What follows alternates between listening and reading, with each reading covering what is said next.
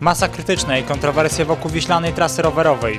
Wspominali obrońców ojczyzny w 74. rocznicę wybuchu II wojny światowej.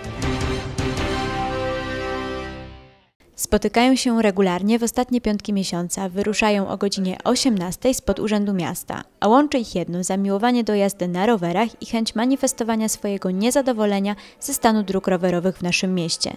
Masa krytyczna pokazuje, ilu jest rowerzystów w Grudziądzu, którzy są żywo zainteresowani tym, co dzieje się w naszym mieście i chcą mieć wpływ na to, jak mają wyglądać drogi rowerowe. Patrzymy z zazdrością na Bydgoszcz, Toruń, patrzymy, że to miasto rowerowo się rozwija, a u nas podcina się rowerzystom skrzydła.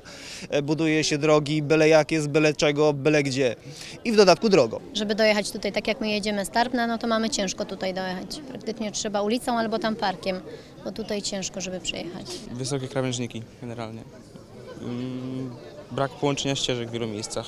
Bo te dwie największe wady. Zwiększenie na pewno ilości i długości ścieżek rowerowych i szczególnie ich jakość.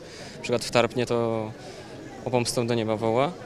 Oraz zachowanie pieszych na ścieżkach rowerowych też wchodzą prosto przed, na przykład prosto przed rower. To trzeba hamować, to stwarza zagrożenie. Jeśli chodzi o tutaj nasze grudziąckie ścieżki rowerowe, chodziłoby o to, żeby była jakakolwiek przejezdność, tak? Żeby nie było przeskoków z jednej strony na drugą ulicę.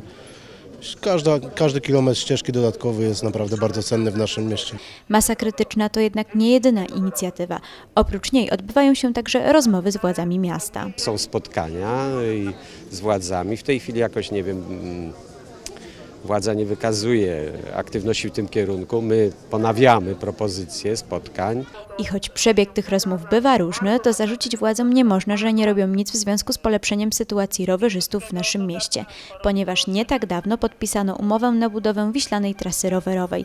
I choć wydawać by się mogło, że idea i pomysł zyska aprobatę rowerzystów, projekt wzbudził więcej kontrowersji niż radości. Właściwie jest to projekt skierowany do pieszych, nie do rowerzystów. W nazwie rowerowy, a w rzeczywistości rowerzysta będzie totalnie podporządkowany pieszym. I będą wieczne konflikty pieszych z rowerami, bo trzeba było oddzielić e, ścieżkę rowerową od pieszej. Jaki ostatecznie będzie efekt i dla kogo tak naprawdę będzie przeznaczona wiślana trasa rowerowa, okaże się, kiedy zostanie wybudowana.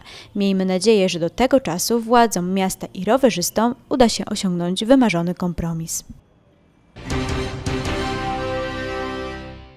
74. rocznicę wybuchu II wojny światowej, jednego z najbardziej tragicznych w skutkach konfliktu zbrojnego na świecie, Stowarzyszenie Kulturalno-Edukacyjne Ravelin i koło przewodników PTTK na cmentarzu komunalnym wspominali poległych żołnierzy.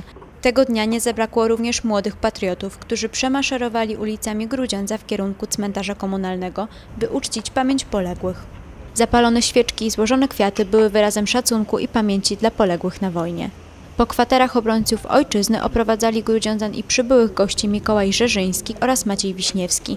Przewodnicy przybliżyli losy Grudziądzan, którzy polegli podczas II wojny światowej. Wielu mieszkańców Grudziądza zostało doprowadzonych siłą na, na tą pokazową egzekucję, która miała wstrząsnąć mieszkańcami Grudziądza i dać taki sygnał, że każda próba oporu spotka się z najwyższą możliwą karą ze strony okupanta.